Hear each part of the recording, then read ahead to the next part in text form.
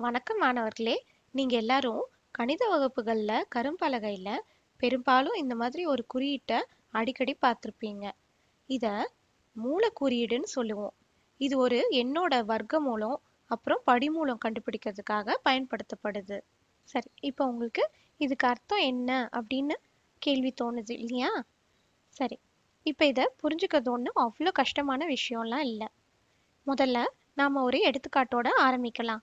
நமக்கு மூணின் ரெண்டாம் அடுக்கு என்னன்னு தெரியும் இல்லையா? அதாவது மூணின் வர்க்கம் என்ன? ம், அது மூணு பெருக்கல் மூணு அதாவது ஒன்பது அப்படிங்கிறது தான் இல்லையா? சரி இப்போ நம்ம இதே கருத்தை வேற விதமாக பண்ணினா அதாவது ஒன்பதுல இருந்து ஆரம்பிச்சா எப்படி இருக்கும்? எந்த எண்ணை அதே எண்ணால் பெருக்கினா ஒன்பது கிடைக்கும்? நமக்கு ஏற்கனவே மூணு தான் விடைன்னு தெரியும். ஆனால் இந்த கருத்தை ஒரு குறியீட்டை பயன்படுத்தி எப்படி எழுதுது? ம் நீங்களே இப்போ கண்டுபிடிச்சிருப்பீங்க. ஆமாம் இந்த மூல குறியீட்டை பயன்படுத்தி தான் சரி இப்போ இந்த ஒன்பதோட வர்க்கமூலம் என்னன்னா இல்லை இதை இப்படி கூட சொல்லலாம். எந்த எண்ணோட வர்க்கம் வந்து ஒன்பதுக்கு சமமாக இருக்கும்னு கேட்டால் நீங்கள் மூணுன்னு சரியாக சொல்லுவீங்க. இப்போ நீங்கள் இந்த ரெண்டு சமன்பாட்டையும் நல்லா பாருங்க. ஏன்னா இதுதான் வர்க்கமூல குறியீட்டோட உள்ளார்ந்த கருத்து. நீங்கள் ஒன்பதோட வர்க்கமூலம் என்னன்னு கேட்டால் எந்த எண் அதே எண்ணால் பெருக்கினா ஒன்பதுக்கு சமம்னு கேட்குறதா தான் அர்த்தம். அதுக்கு விடை வந்து மூணு. அப்புறம் மூணின் வர்க்கம் வந்து ஒன்பதுக்கு சமம். இது மாதிரி நம்ம எத்தனை வேணால் எழுத முடியும். இப்போ நான்கின் வர்க்கம் வந்து பதினாறுக்கு சமம்னு எழுதலாம். அப்புறம் பதினாறின் வர்க்கம் மூலம் என்னவா இருக்கும்? நாலு தான். சரியா?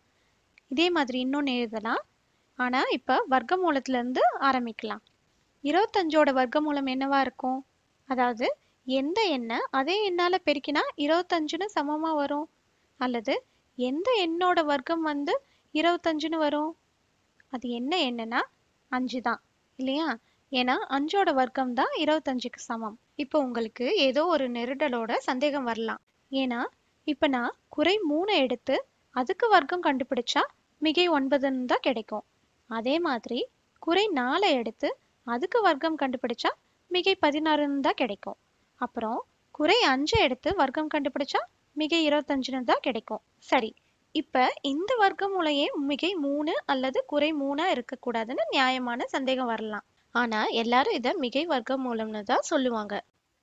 இப்ப ஒன்பதோட குறை வர்க்கம் மூலம் வேணும்னா குறை அப்புறம் வர்க்கமூல குறியீட்டுக்குள்ள ஒன்பது அப்படின்னு எழுதலாம். இதோட விடை வந்து குறை மூணுன்னு வரும். இதில் சுவாரஸ்யமான விஷயம் என்னன்னு பார்த்தீங்கன்னா இப்போ இந்த சமன்பாட்டில் ரெண்டு பக்கத்தையும் வர்க்கப்படுத்தினா என்ன கிடைக்கும்? குறை எண்ணை வர்க்கப்படுத்தினா மிக எண்ணா ஆயிடும். அப்புறம் ஒன்பதின் வர்க்கமூலத்தை வர்க்கப்படுத்தினா அது ஒன்பதாக ஆயிடும். இப்போ வலதுபுறம் குறை மூணை வர்க்கப்படுத்தினா குறை மூணு பெருக்கள் குறை மூணு வந்து மிகை ஒன்பது இல்லையா? அதனால எப்படி பண்ணினாலும் இங்கே ஒன்பதுக்கு சமமாக ஒன்பதுன்னு கிடைச்சிருக்கு. சரி இப்போ நான் இதை இயற்கணித ரீதியாக எழுதுறேன். இப்போ ஒன்பதின் வர்க்கமூலம் வந்து எக்ஸ்க்கு சமம்னு எழுதிக்கலாம். இப்போ ஒரே ஒரு எக்ஸின் மதிப்பு மட்டும்தான் இந்த சமன்பாட்டுக்கு தீர்வாக அமையும். ஏன்னா நிறைய கணித மேதைகள் இந்த குறியீட்டை மிகை வர்க்கமூல குறியீடுன்னு தான் ஒத்துக்கிட்டு இருக்காங்க.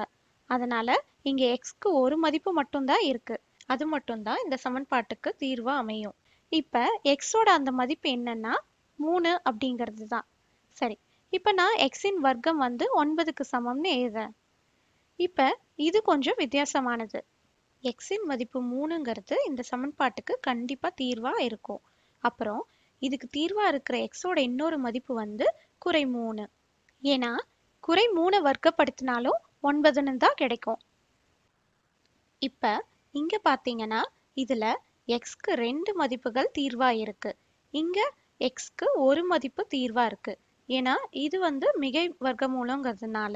ஆனாலும் இந்த ரெண்டு கூற்றுகளுமே கிட்டத்தட்ட சமம்தான் சரி இப்ப இதுக்கு சமமா எக்ஸ்க்கு ரெண்டு மதிப்புகள் தீர்வா இருக்கிற மாதிரி எழுதணும்னா இப்படி எழுதலாம்.